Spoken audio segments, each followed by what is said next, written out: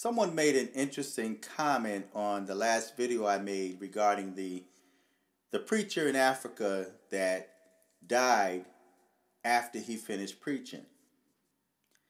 And I knew that someone was going to make a comment such as the one that this young lady had made. And the comment reads as follow. But how do you know if that was the honor by God. He could have been living underhanded and taken out by the rapture of God because he was deceiving slash misleading others. Now, that's the mindset of a lot of black people today regarding the preachers in the church. And it's interesting that they don't think that toward white preachers. It's only towards brown preachers or what they perceive as black preachers. Black preachers are the only ones that is always deceiving and misleading others. No other race, no other nationality, no other culture, just black people. Although this preacher is an African preacher. But the question was, but how do you know if that was the honor by God? This is how she wrote it. He could have been living underhanded and deceiving and misleading others. Now, my response to her was by discernment. See, as a child of Yah, you have to have the spirit of discernment. Discernment is one of the spiritual gifts that the Most High gives to his preachers, or better yet, to his people. Those that are called and anointed, that's unctioned by God, God equips them with the spirit of discernment to know right and wrong to be able to read in the Spirit. So my answer was by discernment. I would have known if it wasn't of God. But we can say the same thing for John the Baptist that was beheaded along with other disciples that died for the sake of Christ. That was my response to her. Now, I want to read a couple of scriptures. And I don't want to be on this too long, but there's just so much information that I would like to share. The first scripture I want to bring light to is when John the Baptist was beheaded. He was not beheaded because of the preaching of the gospel. John the Baptist was beheaded for telling the truth. He said something that somebody did not like. And they held a grudge against him. But I'm going to let the scripture speak for itself.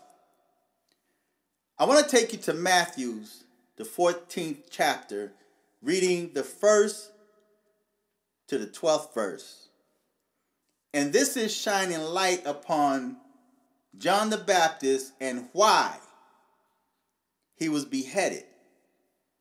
Now, in this day and time, people would say, oh, he was beheaded because he did something wrong. He sinned. He was misleading people. He wasn't telling the truth. So, this is God's punishment for John the Baptist.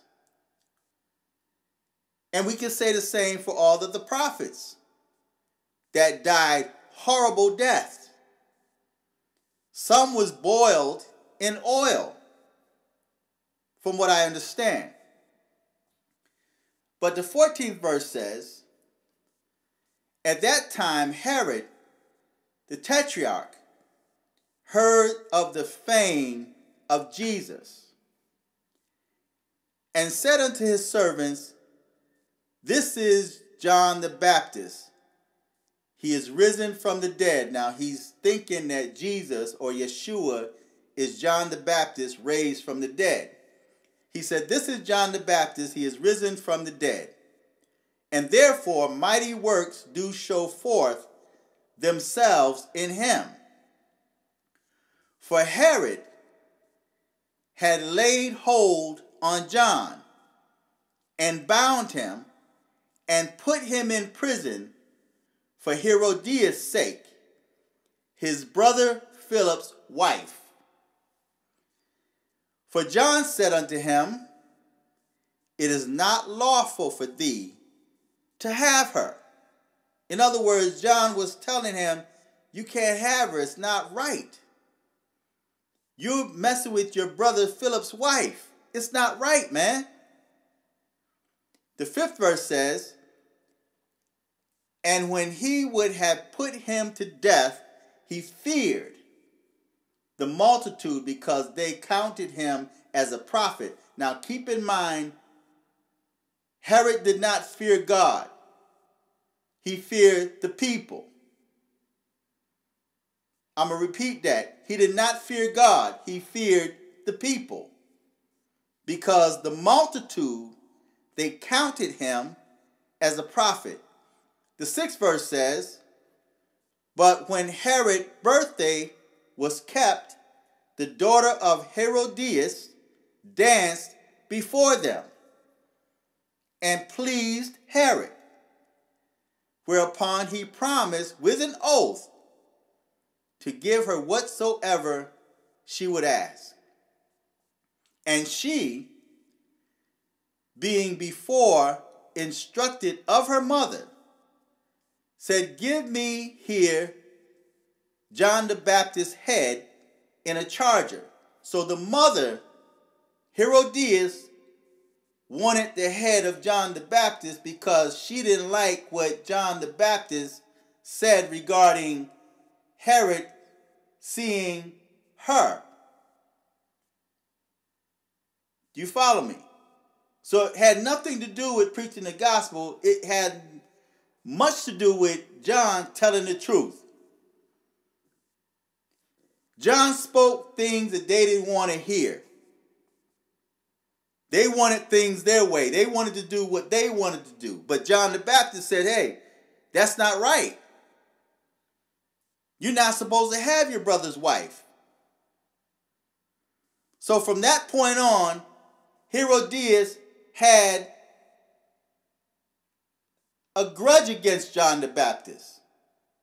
And she used her daughter to destroy John the Baptist. She prostituted her own daughter. She allowed her young daughter to dance, the same man that she slept with. She allowed her little daughter to dance before him because it pleased him to watch this little girl dance. The eighth verse says, And she, being before instructed of her mother, said, Give me here John the Baptist's head in a charger. The ninth verse says, And the king was sorry. Nevertheless, for the oath's sake, in other words, he was keeping his word, and them which sat with him at meat, he commanded it to be given her. So he was protecting his reputation his word.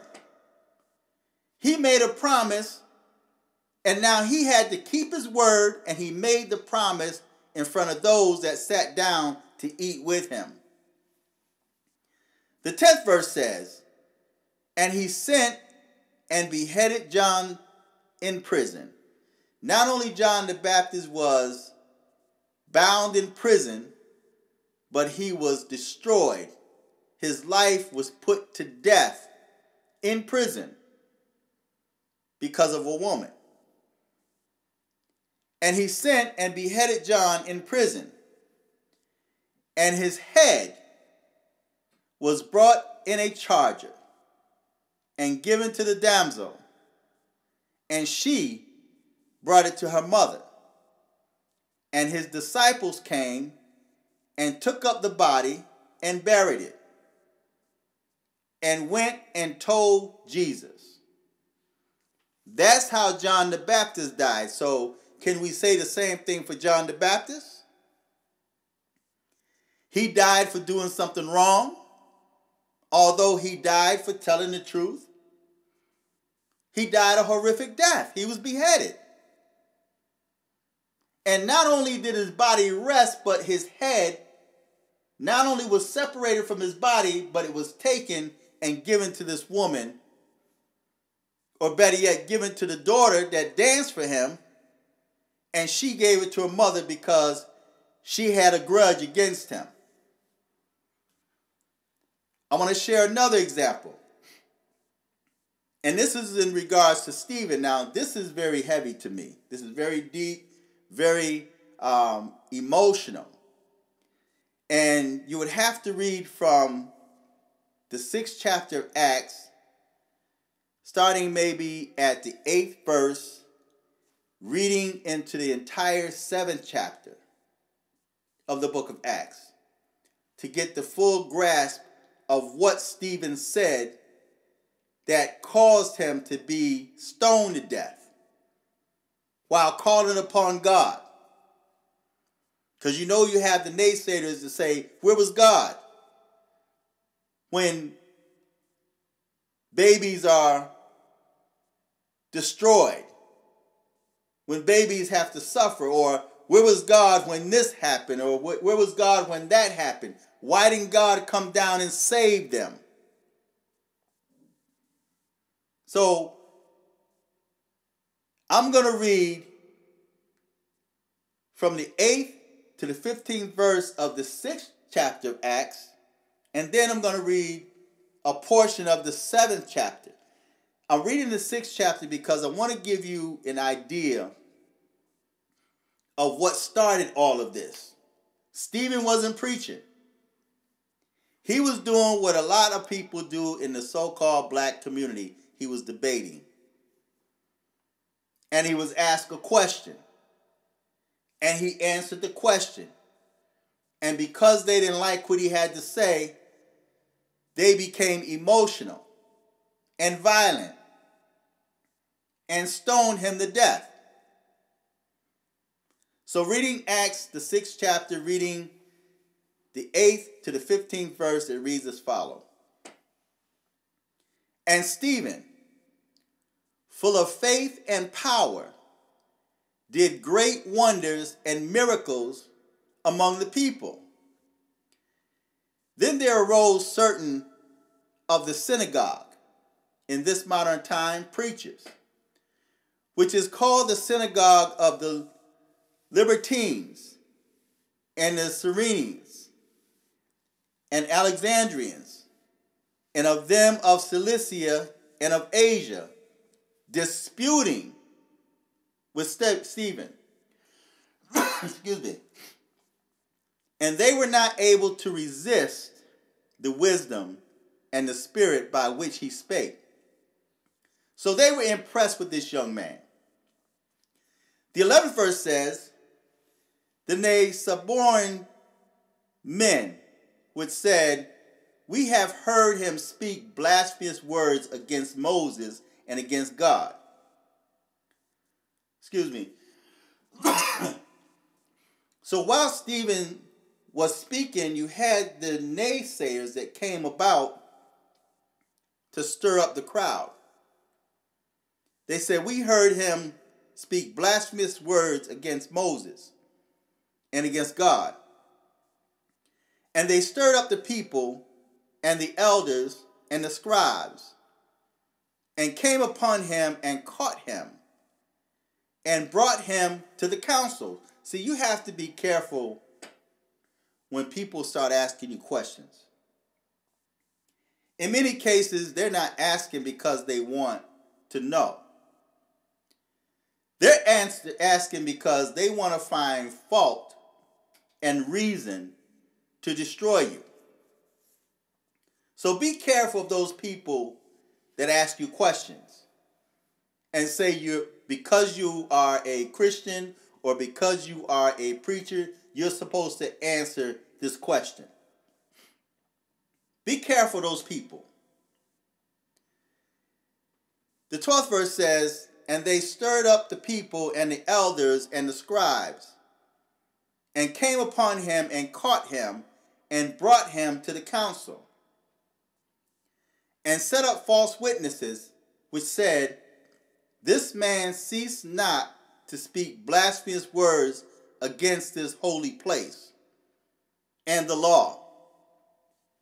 And we have heard him say that this Jesus of Nazareth shall destroy this place and shall change the customs which Moses delivered us.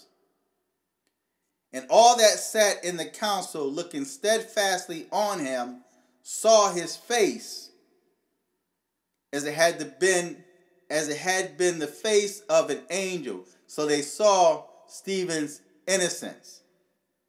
Now I'm going to skip down to Acts, the seventh chapter, reading the 48th to the 60th verse.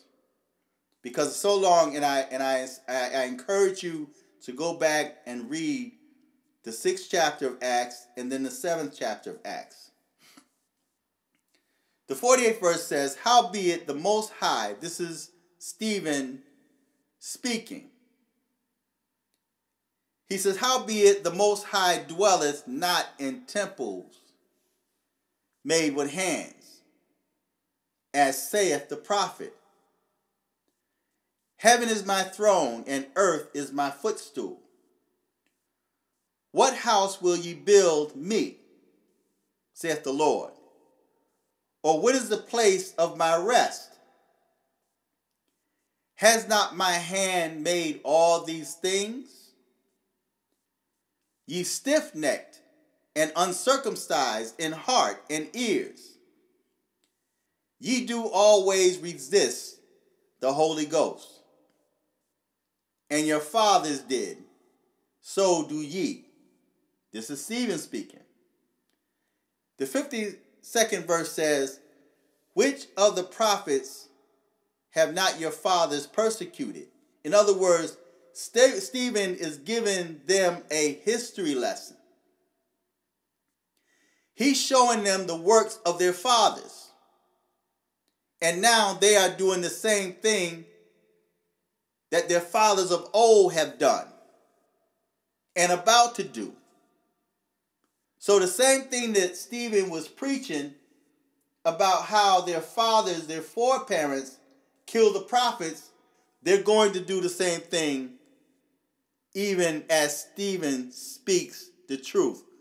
People do not want to hear the truth. They want to hear what they want to hear. They want to hear things that's going to heed to their itching ears. So the 52nd verse says, Which of the prophets have not your fathers persecuted? And they have slain them and showed before of the comings of the just one, of whom ye have been now the betrayers and murderers. The 53rd verse says, Who have received the law by the disposition of angels and have not kept it. In other words, you received the laws by the disposition of angels and you have not kept the law. The 54th verse says, when ye heard the when they heard these things, they were cut to the heart, and they gnashed on him with their teeth. So they bit down on this man. They were torturing this man because they didn't like the truth that he was speaking.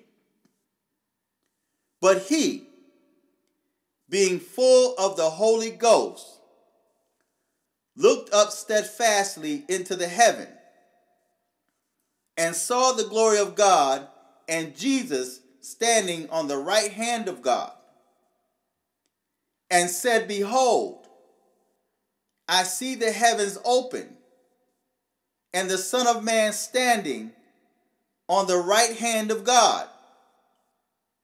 Then they cried out with a loud voice and stopped their ears and ran upon him with one accord. In other words, they bum rushed him.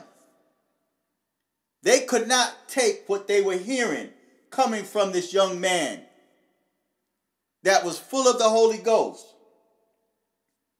that had the face of an angel. So they didn't care about how innocent you look. They didn't like what you had to say because it came against their views and their principles and their ideologies.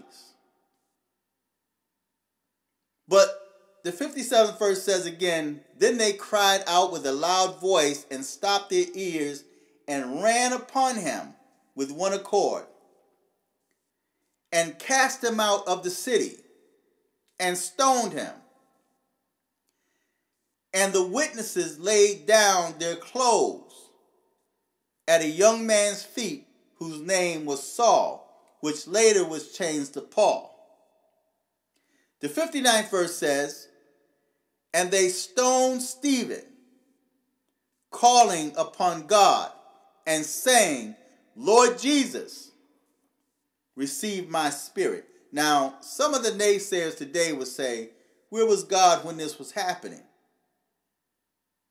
Stephen was calling upon Jesus and God. And we've seen that happen in this modern time where someone was dying, being beat, and crying out, saying, Lord Jesus, help me, help me. So you have the unbelievers and naysayers that will say, well, this person died calling upon Jesus, and Jesus did not help this person. Where's Jesus? They say. So the same thing could go for Stephen. The 59th verse says that, and they stoned Stephen, calling upon God and saying, Lord Jesus, receive my spirit. And the 60th verse says, and he kneeled down and cried with a loud voice, Lord, lay not this sin to their charge. So even while he was dying and they stoning him, he said the same thing or similar to what Yeshua said Father, forgive them, for they know not what they do.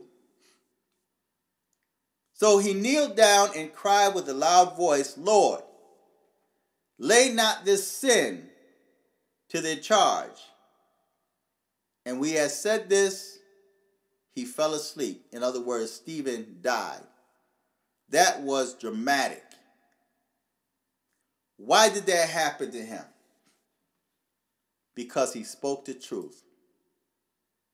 Even in this day and time that we're living in, people cannot stand the truth. If you speak out against falsehood, people want to harm you, they threaten you, they want to end your life for speaking the truth. We have two examples John the Baptist and Stephen that was murdered for speaking the truth because the children of Satan cannot handle the truth. They'd rather harm you and end your life than to submit to what is right, what is holy, and what is pleasing to God. So when, when the question is asked to me, how do we know that this preacher, one thing I've never got in the habit of doing is guessing why things happen.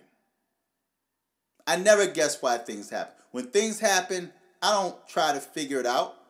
I don't try to guess and wonder why that happened. Did that happen because they did something wrong? I don't do that. I allow my spirit to discern what's going on.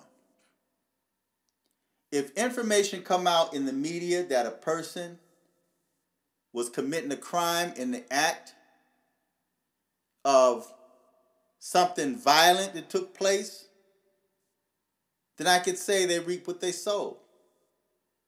Some people may say, well, the punishment didn't fit the crime. They didn't have to do that to him. But then again, he didn't have to be there to cause that those things to happen to him or her. So we reap what we sow. So when it comes to discerning a matter such as that, I always look at it what was the state of mind of that individual when that individual gave up the ghost? When they lost their mind, what was the state of their mind when that happened to them? That preacher died after he finished preaching. That to me is a great honor because when he sat down and gave up the ghost, he died peacefully. He was not in pain. He was not suffering. It wasn't because of a gunshot wound. He wasn't being robbed. I've heard of cases, man, where preachers have died because they were out committing adultery. And right in the act of sex, or committing adultery, they had a heart attack and lost their lives. God will judge them. There are preachers that were doing things and somebody walked up in the church and shot him. A violent death. Was that because of something he did? Or was it because he stood up and told the truth and someone didn't like it. Like the example I gave before of the preacher that was preaching against shacking up. And the young lady went home and told the guy she was living with that we can't do this no more. It's wrong. He went to the church to harm the pastor because he felt the pastor got inside her mind. So when we see situations where a pastor is shot to death, somebody walks inside a church and takes that takes the life of that pastor, we can't always say he did something wrong and that was God's punishment upon him. Because if that's the case, we can say the same thing for John the Baptist. We can say the same thing for Stephen. We can say the same thing for all the prophets of old that died violently. We can say that for Malcolm X. We can say that for uh, for uh, Elijah Muhammad or whoever you hold in high esteem. And they died a heart attack, or you take Dr. Sebi for example. Many people say he was doing a good thing, but look what happened to him. Was he being punished for something he did wrong in his life? So we can't even we can't always judge that. If they are not dying in the middle of a crime, because it would be unjust for the Most High to destroy this preacher while preaching because of something he did wrong, and you have preachers out there that's doing a whole lot worse than that. Those same preachers that that have videos where they convince these women to have sex with them or to perform sexual acts on them. Those preachers are, are, are allowed to live. Why would this preacher die because of judgment. So it makes no sense to me. See, we are quick to always point fingers and pull negativity out of a situation. So, with discernment of spirit, you can discern if something is wrong with something. If, if, if that preacher did something wrong in his life, I really don't think he would have died that peaceful. And even if he did, judgment belongs to God. The ultimate decision for what happens to his soul belongs to God. He wouldn't have died that peaceful. And if he did, he's now in the hands of his maker. And he has to give an account for what he did in his life. I don't know of not one individual that lived in the flesh on this earth and did not do wrong. Some of the same people that are quick to point fingers are doing wrong even to this very day, even this very moment while they're speaking, they're doing wrong. They're probably living a sodomite lifestyle. That's an abomination. And we know what the Bible says about that. But yet you want to point fingers at a preacher and say the reason why he died in the pulpit was because he's deceiving and misleading people. It's a lie from hell. So don't don't be always so quick to judge somebody. You know, so you don't know how you're going to leave this earth. Some of the best, some of the some very good people, or we people we perceived as good died in car accidents. You know that question, why good things always happen to good people? And it seemed like the evil people are left behind to cause hell and havoc on the earth. So, feedback, tell me what you think. Until next time, I'm fearless.